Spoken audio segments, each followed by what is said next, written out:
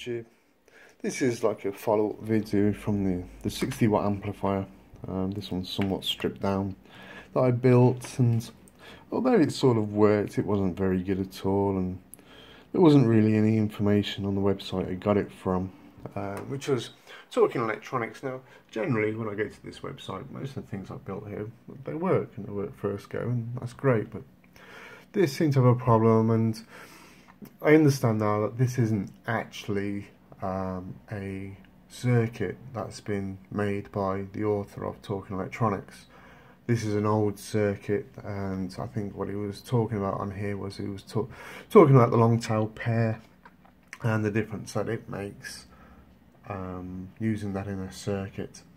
And so what I did was rather than just blow this out altogether, because it's quite a simple circuit, look at it, that's pretty simple. Rather than just like blow it out altogether, I went and found some more information and found a 30 year later updated version of this circuit, which is this one.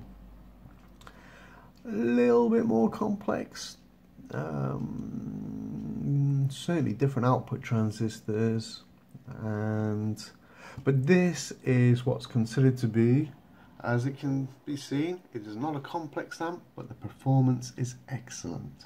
Okay. Now, I'm sure that the performance is excellent on this if it is set out the way that the author has prescribed and he, he does say that because they build the boards for this, so this is a circuit which is, it's got copyright on it, but you're allowed to use it not for profitable thing. So for me building it for this, that's fine. For me building an amp for myself, that's fine. But if I was to start selling these and trying to say it was mine, that would be wrong.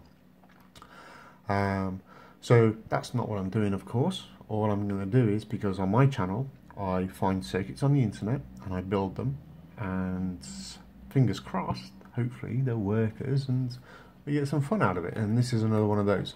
So I have started to build it and I drew it out here first and the reason why I draw it out is because it's okay, it's great seeing it there, don't get me wrong but drawing it out means I'm just getting more and more familiar with the circuit. So as I'm building it I've got more memory to recollect oh I don't remember that being in the correct place.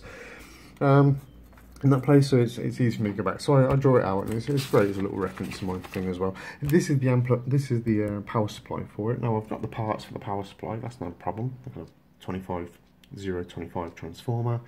I've got lots of capacitance, and I've got a nice big old big bridge, bridge rectifier down there. That's not a problem. What I do have a problem with is with all these chips because these these are the BD 140s here, the 139s. Now, for this circuit, I'm going to use those because this is my let's just get it going with what I've got circuit, and then I'm putting in I'm putting in an order at the minute.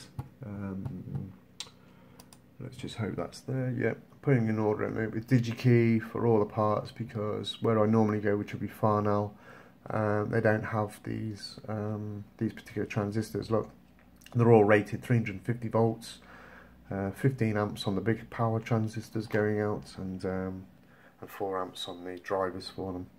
And I need these pots as well, 2K precision turn pots.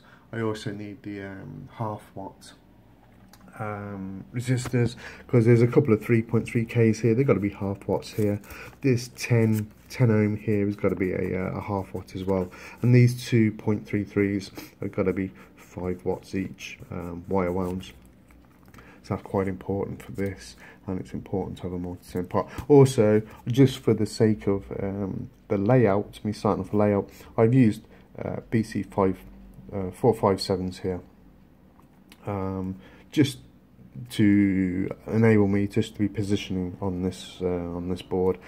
Of course I'm not going to be using that when the new ones come in or I may just use it just for this because I got these uh, I got some cheap power transistors um, which are let me just take you back to this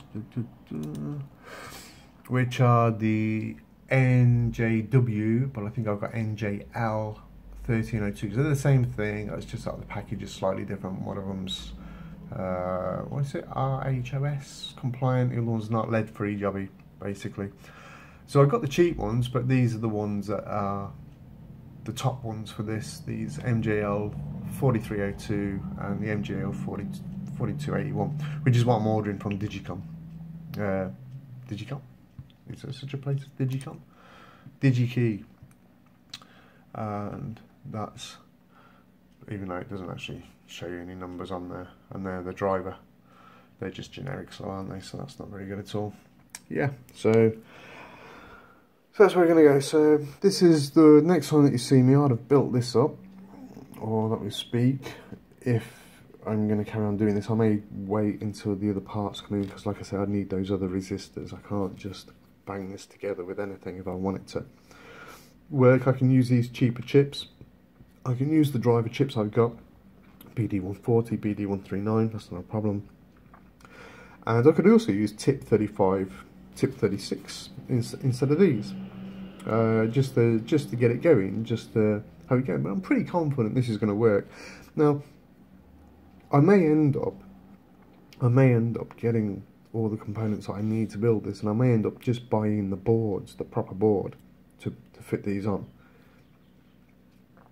that that may end up being what happens because you know I've been looking around and I decided I'm I want to build myself my own discrete amp, but not my own design, of course, because I'm a noob to all this. I can't just design this yet. There's guys out there building amps, 20, 30 years experience and run into issues. So for me, just to be a, a noob, not even two years into this, um, since the concept of me actually doing this, um, to just be able to build an amp, I think is just a bit too far-fetched for me at this time.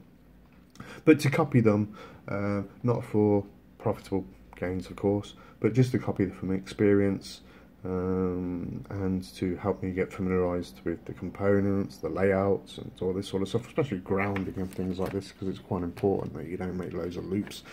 Um, and there's more factors to the grounding, but I'm not going to go into it, too easy to be criticised.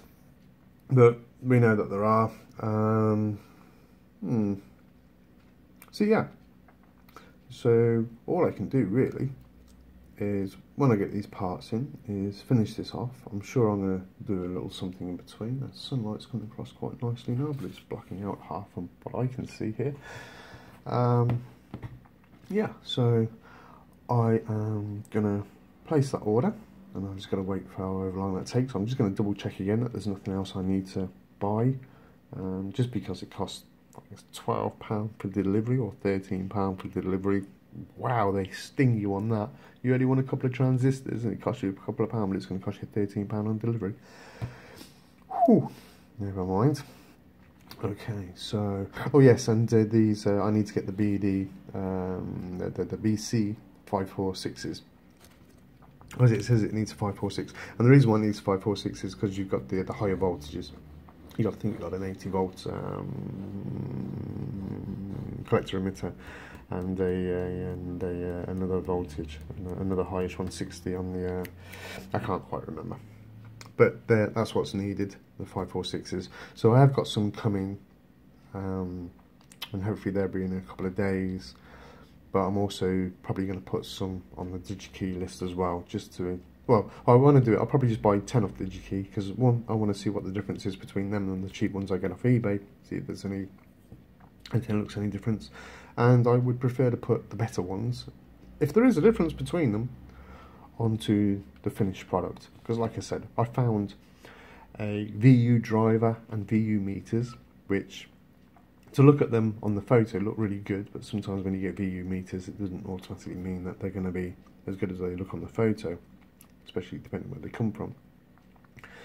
And there's some lovely cases out there, uh, lovely enclosures, but it would just be nice to see if I can get this uh, working in the first place.